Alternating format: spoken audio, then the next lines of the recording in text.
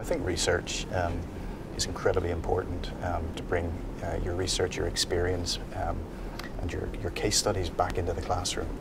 And students respond very well to that. For example, at, at undergraduate level, um, I teach a, uh, a unit on e-marketing to the final year undergraduate students.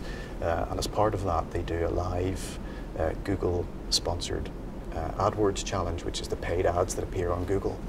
Um, and I've been able then, through my connections, to bring small businesses on board and have teams of students working directly with them, um, actually working on a live AdWords campaign where they get the money, $200 to do that. And there's been great results both for the, the client, for the business, and of course for the students.